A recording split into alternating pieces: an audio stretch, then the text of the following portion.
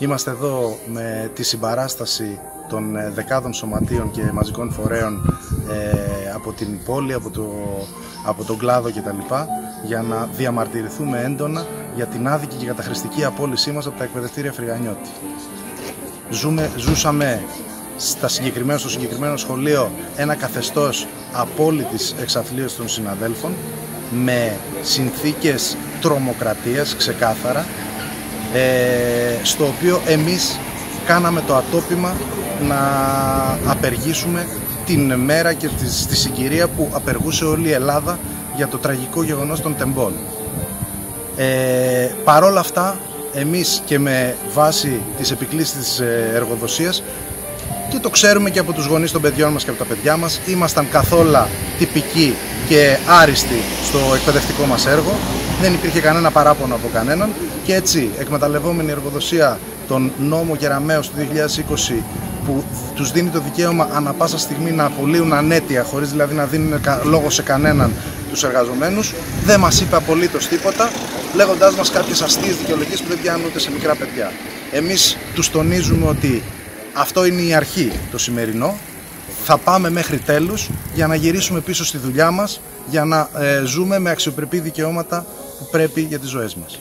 Ήρθαμε σήμερα να κάνουμε τη συμβολική παράσταση διαμαρτυρίας και να πετήσουμε την επαναπρόσληψή μας από τα εκπαιδευτήρια Φρυγανιώτης σε έναν εργασιακό χώρο όπου κυριαρχεί η ανομία, η απλήρωτη εργασία, η καταστρατήγηση οποιονδήποτε εργασιακών σχέσεων έχουν απομείνει στον χώρο της ιδιωτικής εκπαίδευσης. Εμείς κάναμε το ατόπιμα να απεργήσουμε την ημέρα που έγινε το τραγικό συμβάν των τεμπών. Αυτό τα εκπαιδευτήρια Φρυγανιώτη δεν μας το συγχώρησαν και προχώρησαν στην απόλυσή μας, την ανέτεια απόλυσή μας που το νομικό πλαίσιο που πλέον υπάρχει στην ιδιωτική εκπαίδευση τους το επιτρέπει. Ήρθαμε εδώ να τους ενημερώσουμε ότι εμείς δεν θα κάνουμε πίσω, θα επιμείνουμε μέχρι τέλος ώστε να επαναπροσληφθούμε και οι δύο συνάδελφοι στο σχολείο και να εναντιωθούμε σε αυτό το ξεχαρβάλωμα των σχέσεων εργασίας που υπάρχουν πλέον στα ιδιωτικά σχολεία. Από την πρώτη ΕΛΜΕ Θεσσαλονίκης καταγγέλουμε την απόλυση των δύο εργαζομένων στα εκπαιδευτήρια Φρυγανιώτη, συμπαραστεκόμαστε στον αγώνα τους για την επαναπρόσκλησή τους, καταγγέλουμε και ζητούμε να καταργηθεί ο νόμος για τις ανέτειες απολύσεις της Νέας Δημοκρατίας.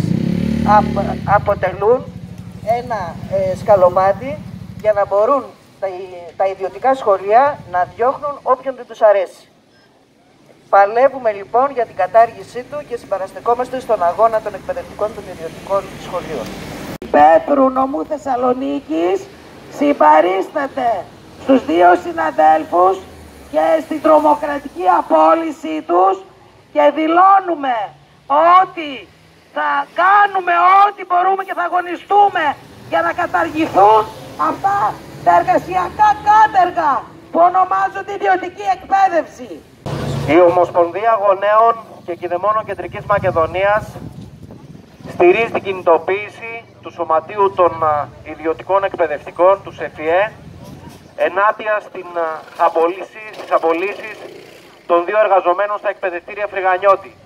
Είναι υποκριτικό την ώρα που μαθητές που πρωτεύουν ευχαριστούν τους εκπαιδευτικούς για τη βοήθεια που τους προσέφεραν την ίδια ώρα τα εκπαιδευτήρια Φρυγανιώτη τους ανταμείβουν με απολύσεις. Απολύσεις επειδή κινητοποιήθηκαν, επειδή πήραν μέρος στις απεργιακές κινητοποιήσεις, τότε που όλος ο κόσμος έλεγε ότι το έγκλημα αυτό δεν πρέπει να ξεχαστεί.